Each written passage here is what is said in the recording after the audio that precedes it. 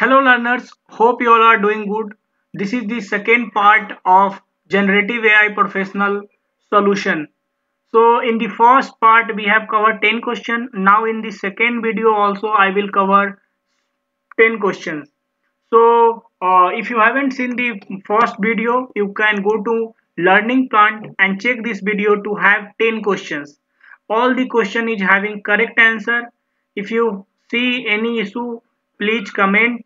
Please share subscribe to your uh, friends and your colleagues because uh, oracle is providing oci generative ai certification free till 31st july 2024 so it's a great opportunity to learn something and get certified by 31st july in free because after that it will be paid and it, it will be very costly okay.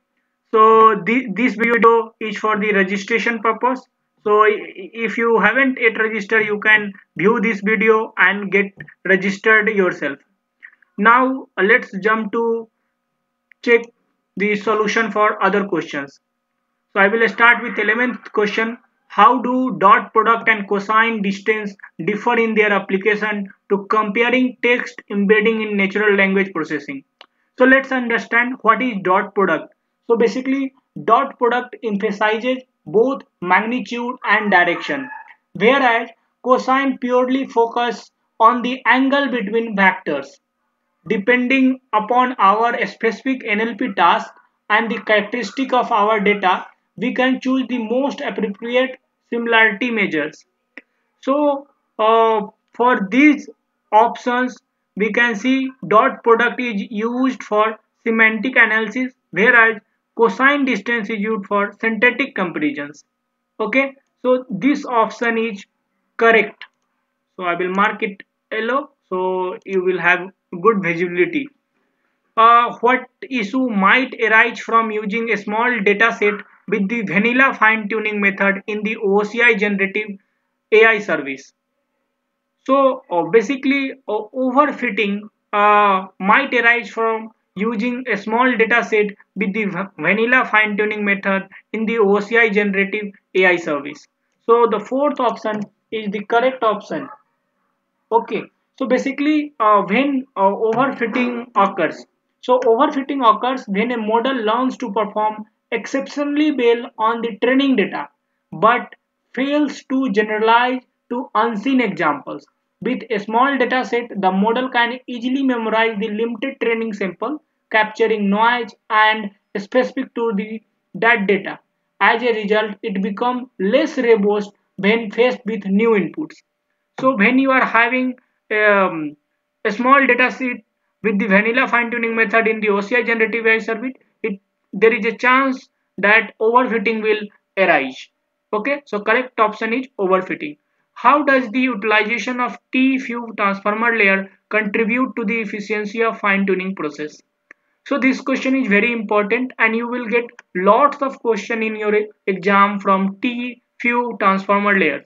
Okay, so the key functionality of T-few uh, transformer layer is to restrict um, the updates to a subset of transformer layer rather than updating all layers. So you need to uh, understand first what is T tuning.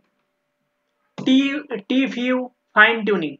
So basically the major characteristic of uh, the T tuning is that it aims to improve efficiency during the fine tuning of LLM models. Okay, and it involves restricting updates to only a subset of transformer layer rather than updating all layer. It will only update a subset of transformer layer. It will not update all the layers. So the correct option will be this. By restricting update to only a specific group of transformer layer rather than updating all. Okay. So we need to uh, remember this concept to give other answers also which is a key characteristic of annotation process used in a T-few fine tuning so uh, basically when a developer is developing uh, the uh, models uh, they need to uh, update the pairs manually. Okay.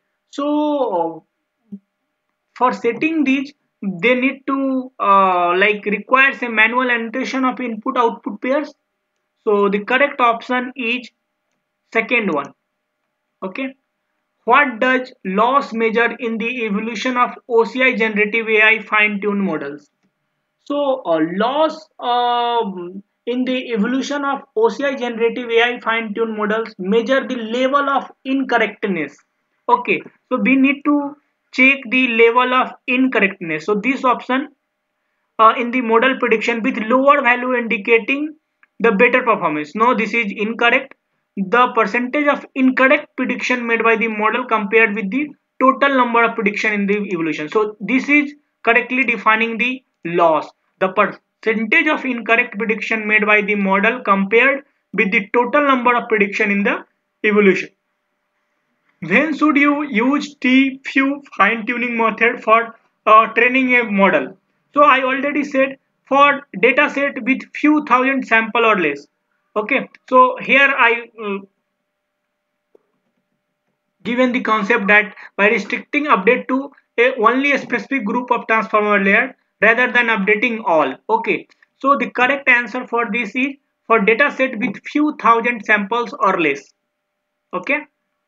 Now, which is a key advantage of using T-Few over vanilla fine-tuning in the OCI generative AI service? So, uh, T-Few is for uh, a faster training time and lower cost. Okay, so the correct option for this will be faster training time and lower cost because uh, we already know right that uh, T-Few focuses on efficiency by restricting updates to a subset of transformer layer making it well suited for a smaller data set and resource constraint. It will not update all the transformer layer. It will always update or restrict a, specific set of transformers. Okay, that's why it will increase the faster training time and it will reduce the cost. Okay, now let's move to the another question. How are fine-tuned customer model stored to enable a strong data privacy and security in the OCI generative AI service? So um, stored in object storage encrypted by default. Any other option? No. So this is unencrypted so correct option uh, is uh, stored in the object storage encrypted by default so this is the correct option which statement best describe the role of encoder and decoder model in the natural processing? So basically you need to understand what a encoder or decoder do. So basically encoder and decoder architecture enables tasks like translation, summarization and text generation in natural language processing. So the correct option in these four uh, option is the third one where you can see encoder model convert a sequence of word into a vector representation and a decoder model take this vector representation to generate a sequence of word. So basically you can see encoder and decoder are like opposite to each other. Okay, they are the functionality is different.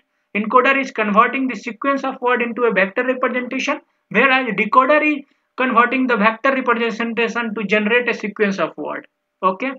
Now the last question of this set is which role does a model endpoint serve in the inference workflow of the OCI generative AI service? So uh, the correct option in this is serves as a designated point for user request and model response.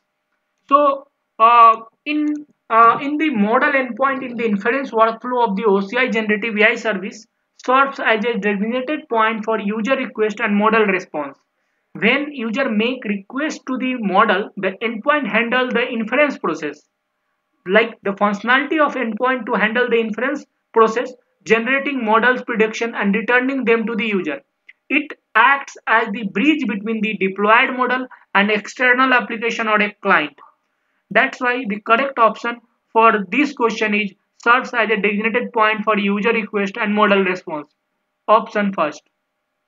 So we already covered 20 question from this uh, um, OCI generative AI um, exam certification. uh, please uh, share subscribe uh, to our channel okay and let me know if you find any issue in this solution we will update it accordingly. Thank you